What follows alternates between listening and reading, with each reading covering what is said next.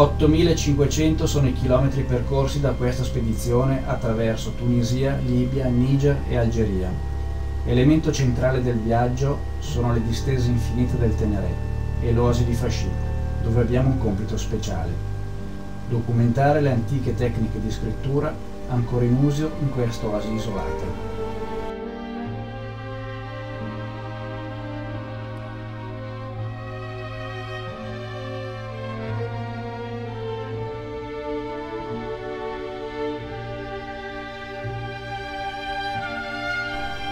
L'accoglienza alla scuola è semplicemente fantastica.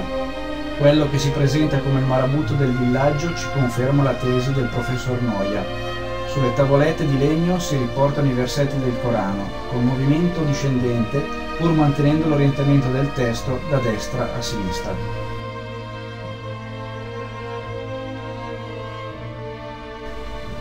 Il marabutto, pur essendo sera, si offre di mostrarci immediatamente la tecnica, in breve assistiamo alla realizzazione di un paio di tavole.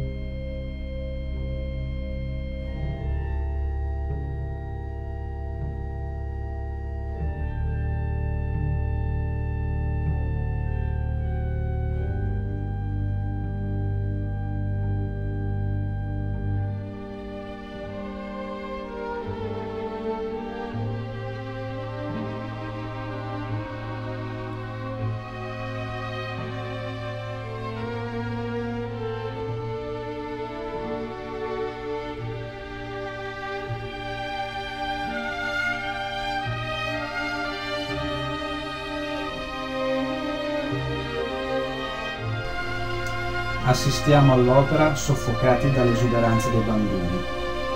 Le bimbe del nostro gruppo vengono dolcemente pizzicate dagli altri bimbi, forse per verificare che siano fatte come loro.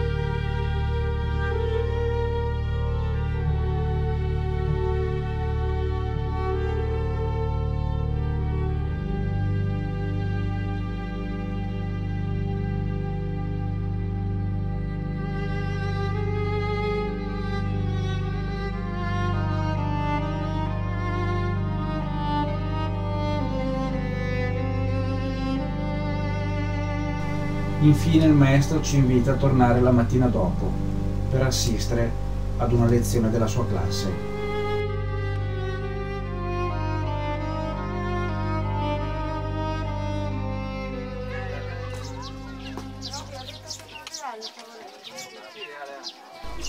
I bambini sono raccolti in maniera ordinata.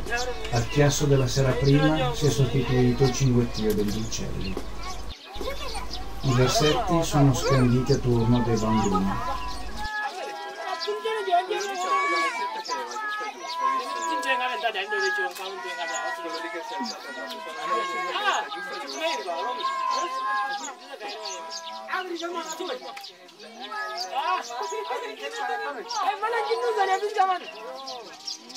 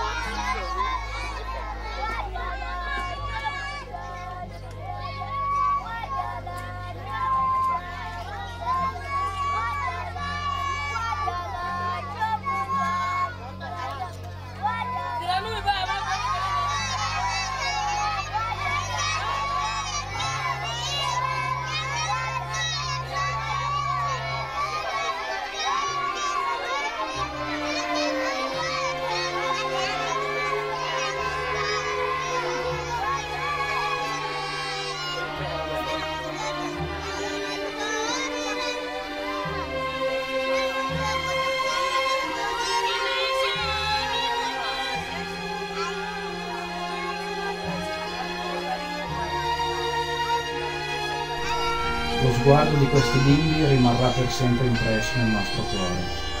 Ognuno di questi sguardi è valso un viaggio nel Teneré e le mille difficoltà superate.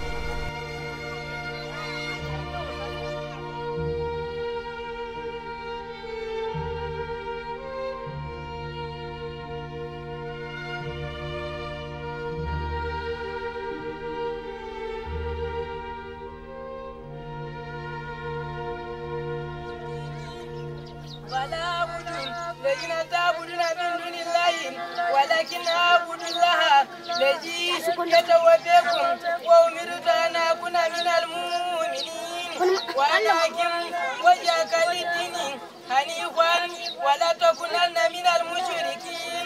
ولا تدعو من دون الله ما لا ينفعك ولا يضرك. فإن فعلت فإنك إذا من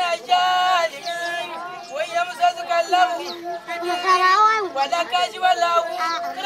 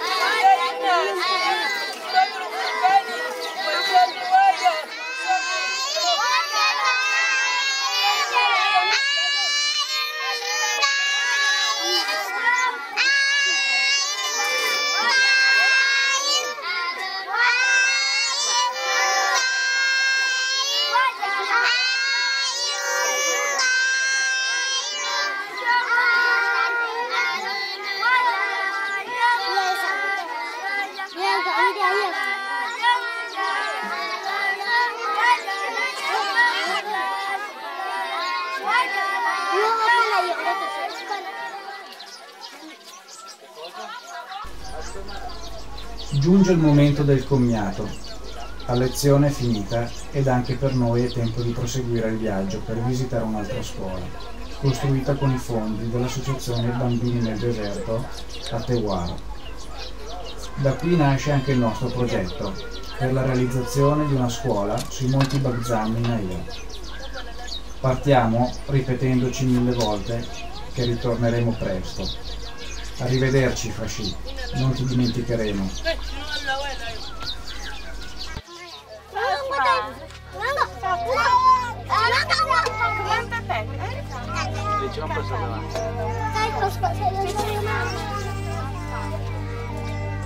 Kejahatan kirim.